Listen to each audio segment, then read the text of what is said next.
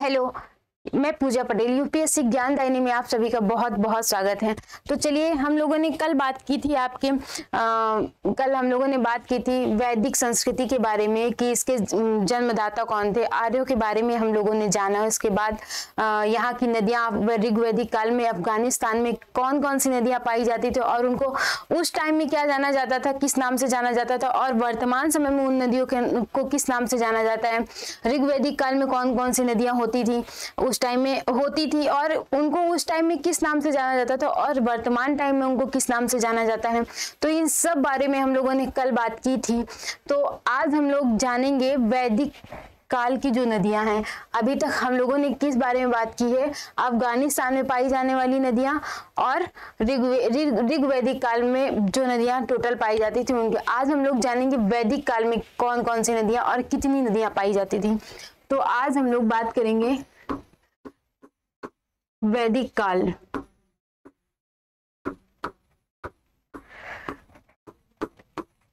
वैदिक काल की नदियों के बारे में आज हम लोग बात करेंगे।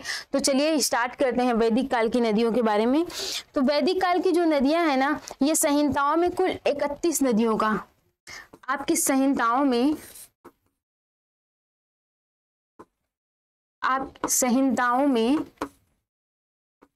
टोटल इकतीस नदियों का उल्लेख पाया गया है। टोटल इकतीस नदियों का,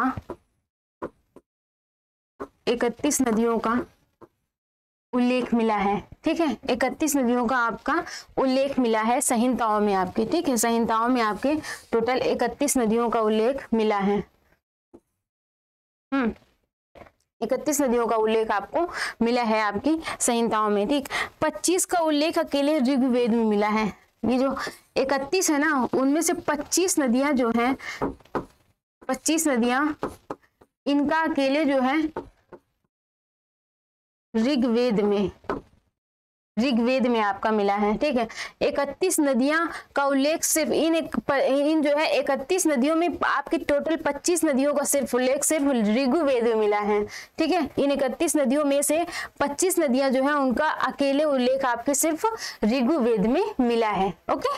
ऋग्वेद में मिला है, ठीक है? इसमें सिंधु सिंधु का उल्लेख बहुत सर्वाधिक बार हुआ है इसमें। सिंधु का उल्लेख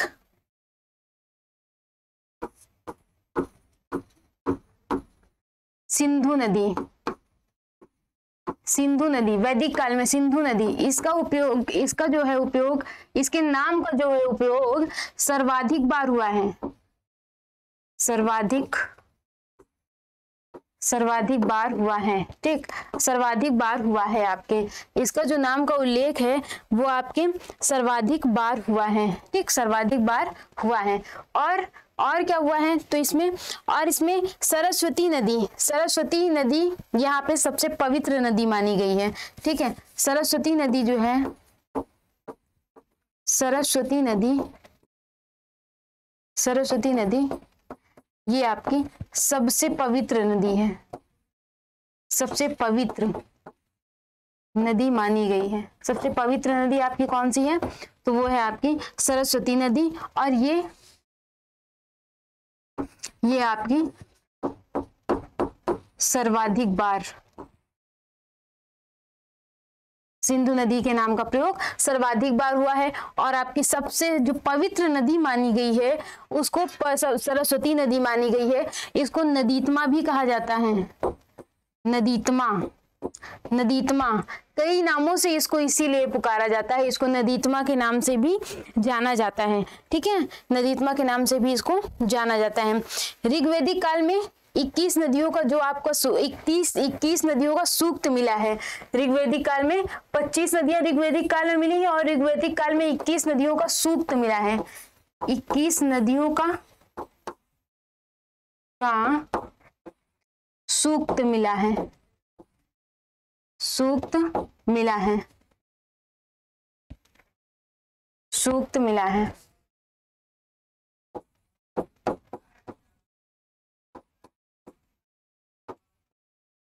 ठीक है? सूक्त मिला है आपके। सूक्त मिला है। ठीक।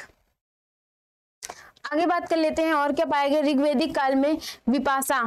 ऋग्वेदिक काल में आपका व्यास नदी का उल्लेख कहीं भी नहीं है। व्यास नदी का उल्लेख आपका कहीं भी नहीं है। ऋग्वेदिक काल में व्यास नदी के उल्लेख आपका कहीं भी नहीं है। व्यास नदी को किस नाम से जाना जाता है? व्यास नदी को कल हमने बात की थी तो व्यास नदी को विपासा के नाम से जाना जाता है। इस बारे में हम लोगों ने कल बात की थी। व्यास नदी को विपासा के नाम से जाना जाता है। ओके यहाँ पे जो है इसे कश्मीर की एक मरुद्रवा मरुद्र मरुद्रवा नदी है कश्मीर की, उसका भी उल्लेख आपको यहीं पे मिला है। उसका भी उल्लेख आपको यहीं पे मिला है। ठीक है? समुद्र के बारे में भी जानकारी आपको यहाँ से मिली है। समुद्र, लोग समुद्र के बारे में उस टाइम जानते थे। इस बारे में भी जानकारी मिली है। इसी से मिली है, ठीक है? आगे बात कर लेते हैं वैदिक साहित्य की। तो वैदिक साहित्य वैदिक साहित्य क्या होता है? चारों वेदों, जिनमें ब्राह्मण, अरण्यक, उपनिषद हैं। वैदिक काल का, वैदिक साहित्य क्या होता है? आपका वैदिक साहित्य क्या होता है? जिनमें चारों वेद हों ब्राह्मण हों अरडक हों अरण्यक के बारे में बात की गई हो तो उसको हम क्या कहते हैं? वैदिक साहित्य कहते हैं। वैदिक साहित्य की उसको कहते हैं? जिसमें चारों वेद हो ब्राह्मण हो और अरडक हो तो उसको हम क्या बोलते हैं? उसको हम लोग सा, वैदिक साहित्य के नाम से जानते हैं। वैदिक साहित्य के नाम से जानते हैं ठीक है? इसको ये जो है ना ये सुनकर सिम सुनकर लिखा जाता था। यहाँ पे जब पुराने जब वैदिक काल में जो है, गुरु अपने बच्चों को, अपने शिष्यों को जो है शिक्षा देता था तो उनको बोलता था वो मतलब शिक्षक ऋषि मुनि बोलते थे और वो अपने शिष्यों को बोल कर लिखवाते थे। ठीक है? ये इसको बोलते हैं आपके, इसको बोलते हैं वैदिक साहित्य। ठीक है? ये अपुरुष है। ये ईश्वर, ये मानव के द्वारा नहीं रचित रचित किया गया है। ये आत्मज्ञान है और ये वैदिक जो स्रोत है, ये ईश्वरों के द्वारा निर्मित किए गए हैं। ईश्वर के द्वारा ये निर्मित किए गए हैं, ये मानव के द्वारा लिखित नहीं किए गए, मानव के द्वारा संकलित नहीं किए गए इसीलिए इनको आप से या नित्य कहा जाता है। इनमें जो है, पहले तीन वेद, ऋग्वेद, सामवेद, है ना? ऋग्वेद, यजुर्वेद और सामवेद। ये वेदत्रयी के नाम से जाने जाते हैं आपके। ऋग्वेद, सामवेद और यजुर्वेद ये आपके वेदत्रयी के नाम से जाने जाते हैं। वेदत्रयी में आपका अथर्वेद नहीं आता है। वेदत्रयी में आपका अथर्वेद नहीं आता है। अथर्वेद नहीं आता है ये इसमें क्योंकि इसमें यज्ञ के भिन्न भिन्न लौकिक नियम के बारे में बताया गया है। जादू, टोना, भूत, प्रेत, मरण आदि के बारे में जो है अथर्वेद में बताया गया है। इसलिए इसको वेदत्रयी से बाहर रखा गया है। वेदत्रयी में आपके कौन कौन से आते हैं? तो वेदत्रयी में आपके आते हैं ऋग्वेद, सामवेद और यजुर्वेद। यजुर्वेद, ठीक, ये आपके वेदत्रयी हैं। वेदत्रयी हैं वेदत्रयी हैं, ठीक है।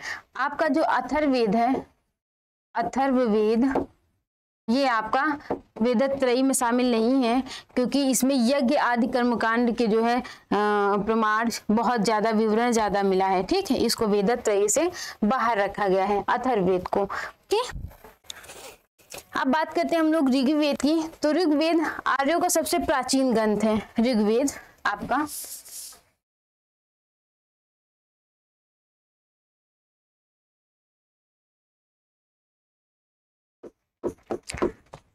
ऋग्वेद। ये जो है आर्यों का आर्यों का सबसे प्राचीन ग्रंथ है। सबसे प्राचीन। ग्रंथ है, आर्यों का, ठीक? आर्यों का सबसे प्राचीन ग्रंथ आपका ऋग्वेद है ऋग्वेद है आपका, ठीक है? ऋग्वेद आर्यों का सबसे प्राचीन ग्रंथ है, ठीक है? इसमें जो है छांदो, वृद्ध, रचना, श्लोक आदि देवी देवताओं की स्तुति का भाव है। इसमें क्या है? इसमें जो है, इसमें देवी देवताओं देवी देवताओं की स्तुति का भाव है। स्तुति का भाव है। ठीक?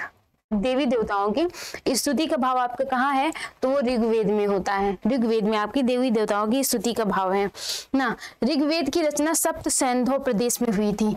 इसकी जो रचना है, इसकी जो रचना है, ये सप्त सैंधव सप्त सैंधव प्रदेश में हुई थी। सप्त सैंधव प्रदेश में हुई थी। सप्त सैंधव प्रदेश की आपकी कल नदियों के बारे में बात हुई थी। सप्त सैंधव प्रदेश में नदियाँ जितनी थी, वो आपकी कल बारे, उस बारे में बात हो गई थी। सप्त सैंधव प्रदेश में आपके ऋग्वेद का जो है, क्या हुआ था, वो रचना हुई थी। ठीक है? इसके दस मंडल, इसके दस मंडल हैं। ठीक? दस सौ अट्ठाईस सूक्त हैं, दस मंडल हैं ऋग्वेद में, और दस सौ अट्ठाईस आपके सूक्त हैं, दस सौ अट्ठाईस आपके सूक्त हैं, और क्या है? यहाँ पे, और क्या है आपके यहाँ पे? और हैं,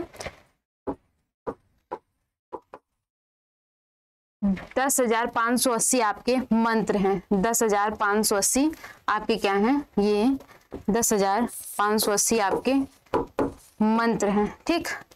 दस हज़ार पाँच सौ अस्सी आपके क्या हैं इसमें? मंत्र हैं। तो इसमें क्या क्या है? दस मंडल हैं, दस सौ अट्ठाईस सूक्त हैं और दस हज़ार पाँच सौ अस्सी आपके आपके आपके क्या हैं? वो हैं मंत्र हैं, ठीक है? मंत्रों को क्या कहा जाता है? तो इसमें मंत्रों को कहा जाता है इसमें मंत्रों को ऋचा कहा जाता है। इसमें मंत्रों को क्या कहा जाता है? इसमें मंत्रों को जो है, वो ऋचा कहा जाता है। ऋचा, ठीक है? ऋचा कहा जाता है। वेदों का संकलन जो है, महर्षि कृष्ण द्वैपायन ने किया था।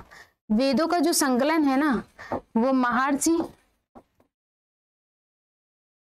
कृष्ण द्वैपायन महर्षि कृष्ण द्वेपायन ने द्वेपायन ने किया है। महर्षि कृष्ण द्वैपायन ने वेदों का वेदों का संकलन किया है। वेदों का संकलन किया है, इसलिए इनको किस नाम से जाना जाता है? इनको वेद और व्यास के नाम से जाना जाता है।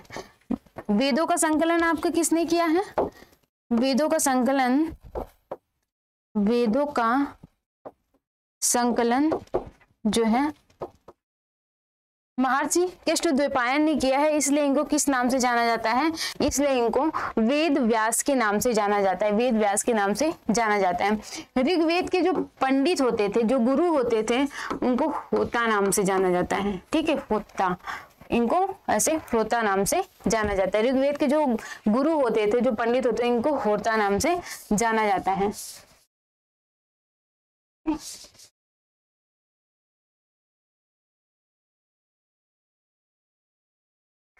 होता नाम से जाना जाता है। ठीक, आगे हम लोग बात करते हैं। इसमें जो है, इसमें जो है तृतीया मंडल इसके कितने हैं? तो इसके जो दस मंडल हैं, उन दसों मंडल की हम लोग बात कर लेते हैं। तो पहले मंडल में क्या है?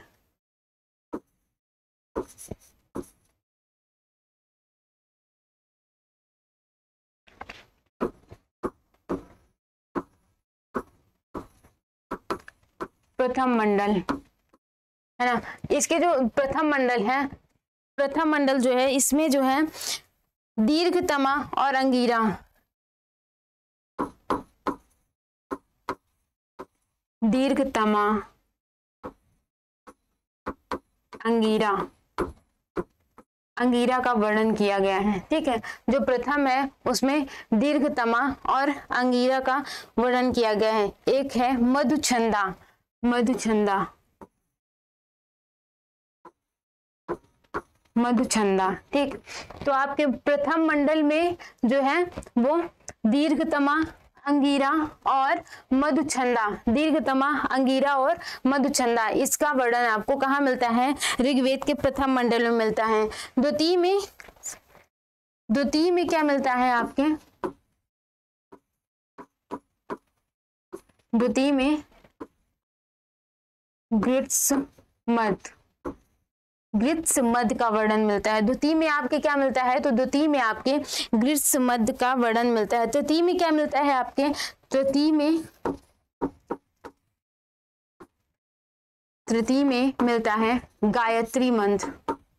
गायत्री मंत्र। गायत्री मंत्र का वर्णन मिलता है जिसको विश्वामित्र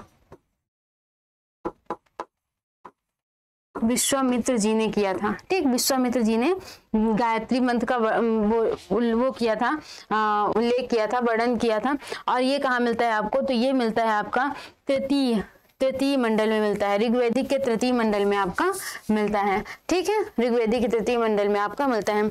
चौथे में क्या मिलता है? चौथे मंडल में, चौथे मंडल में वामदेव। वाम, वामदेव कृषि कृषि से संबंधित वर्णन है। कृषि से संबंधित वर्णन है। ठीक है? वर्णन आपको मिलता है कहाँ पर? तो वो ऋग्वेद के चौथे मंडल में आपका कृषि से संबंधित वर्णन आपका कहाँ मिलता है? तो वो मिलता है आपके चौथे में, चौथे मंडल में मिलता है ऋग्वेद के, चौथे मंडल में मिलता है, ठीक है? पांचवे में क्या मिलता है? पांचवे में मिलता है मुनि अत्रि अत्रि मुनि ठीक है? अत्रि मुनि का वर्णन मिलता है। अत्रि मुनि का वर्णन आपको कहाँ मिलता है? तो ऋग्वेद के पाँचवें मंडल में आपका अत्रि मुनि का वर्णन मिलता है। छठवें में क्या मिलता है? है ना? छठवें में छठवें में मिलता है। छठवें में को मिटा के लिख देते हैं।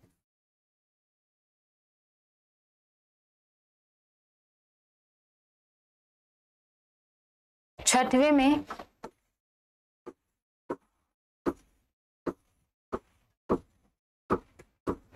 है ना? तो छठवें में आपका क्या मिलता है? छठवें में आपका मिलता है भारद्वाज। भारद्वाज। भारद्वाज। ठीक? भारद्वाज ऋषि का वर्णन आपको मंडल के छठवें मंडल में मिलता है। छठवें मंडल में मिलता है। छठवें मंडल में मिलता है, ठीक? और सातवें मंडल में सातवें में मिलते हैं। सातवें में क्या मिलता है? ऋषि वशिष्ठ। ऋषि ऋषि वशिष्ठ के बारे में आपको कहा वर्णन मिलता है? वशिष्ठ। वशिष्ठ के बारे में आपको कहा वर्णन मिलता है? तो वो सातवें मंडल में ऋषि वशिष्ठ का वर्णन मिलता है। और आठवें में मिलता है कड्व। आठवें में आठवीं में मिलता है। कड्व कड्व, ठीक। कड्व आपका कहाँ मिलता है? आठवें में कड्व जी का जो है आपका वर्णन मिलता है। वो किसमें मिलता है? तो ऋग्वेद के आपके आठवें मंडल में कड्व जी का वर्णन मिलता है। नब्बे में मिलता है पवमान अंगिरा, ठीक है। नौवे में पवनाम अंगिरा। पवनाम अंगिरा मतलब सोम रस सोम रस सोम रस का जो आपका वर्णन, पवनाम अंगिरा का वर्णन आपके कहा मिलता है? तो वो नौवे मंडल में मिलता है आपका, नवे मंडल में मिलता है, ठीक है? और दसवें मंडल में आपका मिलता है महासूक्ति। दसवें में? दसवें में महासूक्ति। महा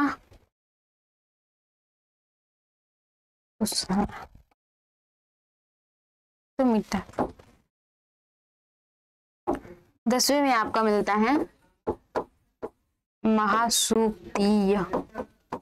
महासुक्ति का वर्णन आपको दसवें में मिलता है, ठीक? दसवें में आपका महासुक्ति का वर्णन मिलता है और किसका मिलता है? क्षुद्र सूक्ति है और और किसका मिलता है? क्षुद्र सूक्ति का वर्णन मिलता है, ठीक क्षुद्र सूक्ति और महासूक्ति का वर्णन आपको कहा मिलता है? तो वो दसवें मंडल में मिलता है। तो आपके सारे दसवें दस मंडल हो गए हैं। आपके सारे दस मंडल हो गए हैं। दस मंडल के बारे में हमने आपको बता दिया है। अब आगे बात कर लेते हैं। ऋग्वेद के बारे में कुछ और बातें हैं जो बहुत इंपॉर्टेंट है। तो ऋग्वेद के बारे में इंपॉर्टेंट है कि इसमें जो है ब्राह्मण ग्रंथ, वेदों को गद्य भाग और जो है ब्राह्मण ग्रंथ होते ब्राह्मण ग्रंथ जो है आपके ऋग्वेद में, किसी भी वेद में, सारे वेदों के ब्राह्मण ग्रंथ हुए तो ब्राह्मण ग्रंथ किस लिए होते हैं? उनको ब्राह्मण ग्रंथ इसलिए होते हैं? क्योंकि उनको गद्य भाषा में लिखा जाता है और गद्य भाषा में समझने के लिए, आसानी से समझने के लिए उनको ब्राह्मण उनके ब्राह्मण ग्रंथ लिखे जाते हैं। आसानी से गद्य भाषा में लिखा जाता है और उनको इसलिए गद्य भाषा में गद्य भाषा में उनको लिखा जाता है, में इनको लिखा जाता है, लिखा जाता है क्योंकि इनको आसानी से समझा जा सके। ठीक है तो इसके लिए यहाँ पे किस ब्राह्मण ग्रंथ? ब्राह्मण ब्राह्मण ग्रंथ। ठीक है, ब्राह्मण ग्रंथ। ठीक, ब्राह्मण ग्रंथ गद्य भाषा में लिखे जाते हैं। ठीक, ब्राह्मण ग्रंथ आपके किस भाषा में लिखे जाते हैं? तो ब्राह्मण ग्रंथ आपके जो है गद्य भाषा में लिखे जाते हैं। इनके ब्राह्मण ग्रंथ कितने होते थे? ऐतरेय। ऐतरेय और दूसरा कौन सा है? ऐतरेय है और दूसरा कौन सा है? कौशितकीय दूसरा है आपका कौशितकीय ऋग्वेद में ब्राह्मण ग्रंथ है, ब्राह्मण गद्य भाषा में लिखे जाते थे क्योंकि उनको आसानी से समझा जा सके। और आपके ऋग्वेद में ब्राह्मण ग्रंथ कितने होते थे, वो होते थे, दो होते थे। दो कौन कौन से होते थे? तो एक होता था ऐतरे और दूसरा होता था कौशितकी एक ऋषि थे, एक ऋषि थे, ठीक है? एक ऋषि थे जिनका नाम महिदास था। एक ऋषि थे जिनका नाम महिदास था, ठीक है? महिदास। महिदास, ठीक है? लेकिन इनकी माता का जो नाम था, वो था ऐतरा। इनकी माता का नाम ऐतरा था। इनकी माता के नाम पर ये मही, महिदास जी ने ही ऐतरा का इसका, इसकी रचना की है। ऐतरा की रच, ऐतरे की रचना जो है महिदास जी ने ही की है। लेकिन इनकी माता का नाम ऐतरा था तो इनके लिखे गए ग्रंथ, इनके लिखे गए ब्राह्मण ग्रंथ का जो है नाम भी इनके माता के नाम पर रख दिया गया और इसका नाम हो गया ऐतरे। इनकी माता के नाम पर, महिदास जी की माता के नाम पर इस ग्रंथ का नाम हो गया ऐतरे, ठीक है? इस ब्राह्मण ग्रंथ का नाम ऐतरे इस प्रकार पड़ा। इस प्रकार इनकी माता के नाम पर ऐतरेय ग्रंथ का पढ़ा नाम, ठीक है? और और क्या हुआ? इसमें कौशितकी इसकी कुशितक ऋषि। कौशितकी इसका जो है निर्माण निर्माण करता कौन थे? तो ये थे कुशितक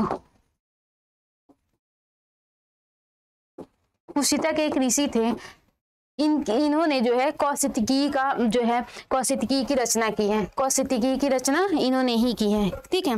और अब आते हैं अरण्यक ऋग्वेद के अरण्यक कितने थे? अरण्यक ऋग्वेद के अरण्यक कितने थे?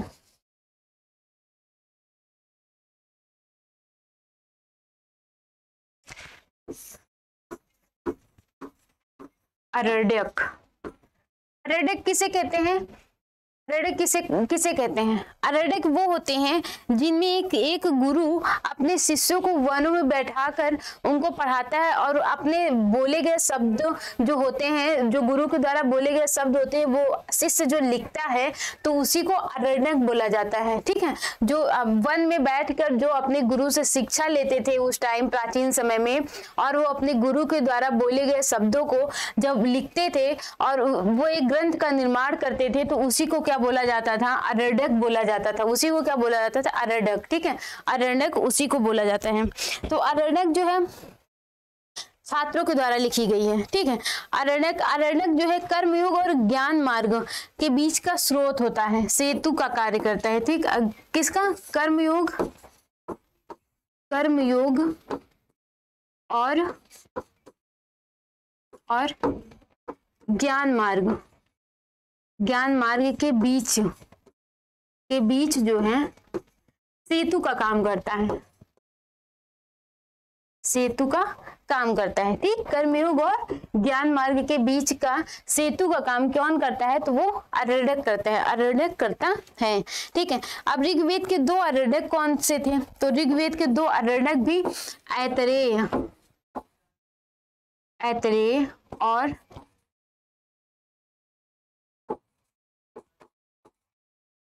कौशितकीय कौशितकीय ही। थे ठीक है? ऐतरे और कौशिकी ही जो है अरडक भी थे। इसमें ये बहुत अच्छा है कि इसमें ऋग्वेद में याद करना बहुत आसान है और सारे जितने ग्रंथ है तीनों के उनमें अलग अलग अरडक है अलग अलग उपनिषद है है ना? उनके अलग अलग जो है अलग अलग उपनिषद भी हैं और अलग अलग ब्राह्मण ग्रंथ भी हैं। तो उनको अलग करने में बड़ी कंफ्यूजन होती है, लेकिन इसमें जो है, एक कॉमन है कि इसमें ऐतरे और कौशिकी ही जो है जो है, इसके अरडक भी ऐतरे और कौशिकी हैं, इसके ब्राह्मण ग्रंथ भी अरडक और कौशिकी ही है। तो दोनों में कॉमन यही होता है, ठीक है? उपनिषद उपनिषद क्या होते हैं?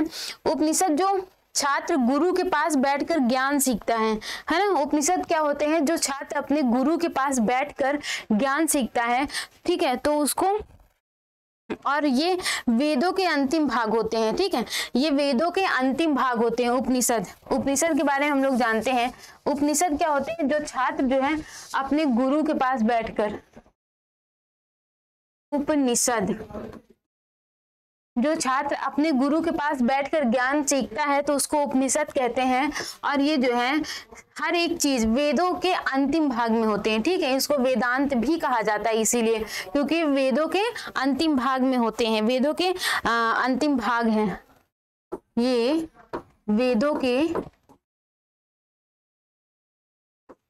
वेदों के अंतिम भाग हैं ठीक? वेदों के अंतिम भाग हैं ये ठीक है? ये वेदों के अंतिम भाग होते हैं। और और आपकी बात कर लेते हैं, शंकराचार्य जी ने क्या कहा है?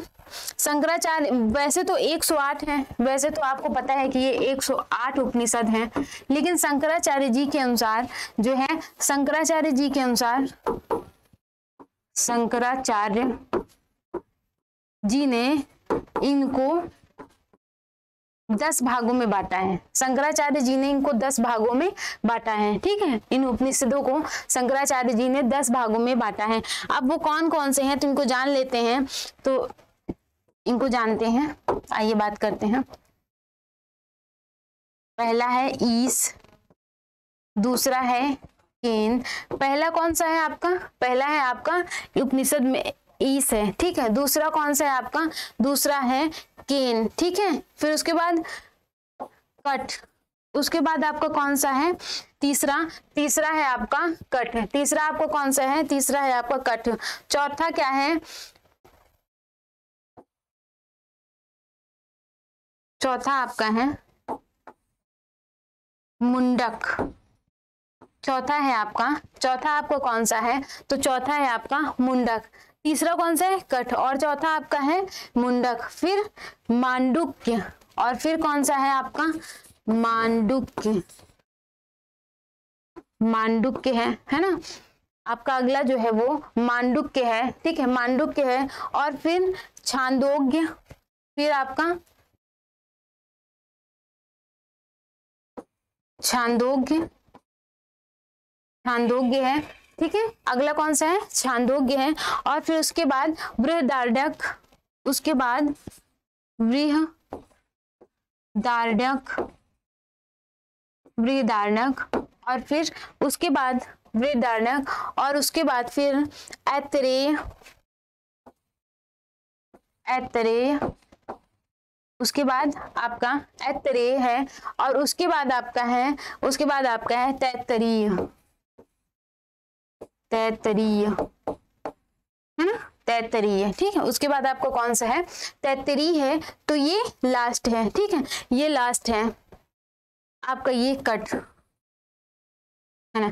तो उपनि शंकराचार्य जी ने, वैसे तो उपनिषद कितनी, की संख्या कितनी है? 108 है, ठीक है? लेकिन शंकराचार्य जी ने सिर्फ़ मेन 10 उपनिषदों के बारे में बात की है तो वो कौन कौन से हैं? तो पहला है आपका पहला है आपका ईस है दूसरा केन है, तीसरा कट है, चौथा मुंडक है और पांचवा मांडुक्य है, छठवा छांदोग्य है छांदोग्य है और सातवां बृहदारण्यक है और आठवां ऐतरे है और नौवा तैतरी है। नौवा तैतरी एक कहा गया?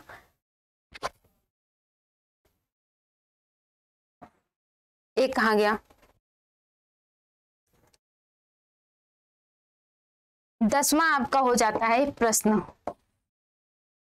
प्रश्न।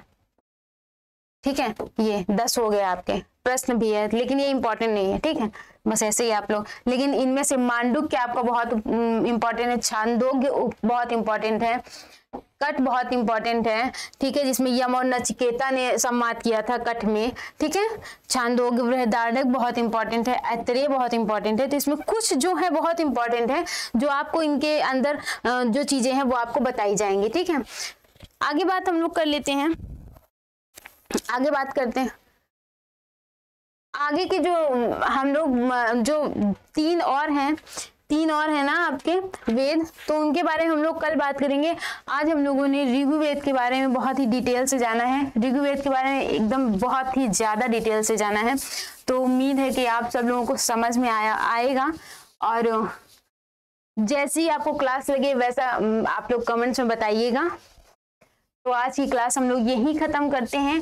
मिलेंगे कल और तीनों उपनिषदों को कल खत्म करेंगे, फिर उसके बाद उपनिषदों को खत्म करने के बाद है उत्तर वैदिक काल के बारे में उसके साक्ष्य बताएँगे। फिर उसके बाद उसके जो है संहिताएँ होती हैं, वो उनके बारे में बात करेंगे। स्मृतियाँ होती हैं जैसे मनु स्मृति या गिवल की स्मृति इन सभी के बारे में बात करेंगे, इन सभी के अंदर क्या क्या है। फिर उसके बाद हम लोग सामाजिक, आर्थिक, राजनैतिक जीवन के बारे में जानेंगे, वैदिक साहित्य के। फिर उसके बाद हम लोग उत्तर वैदिक काल में आएँगे, ठीक है? तो चलिए, आज की क्लास हम लोग यही खत्म करते हैं। बाकी तीनों वेदों की बात हम लोग कल करेंगे, ठीक है? चलिए।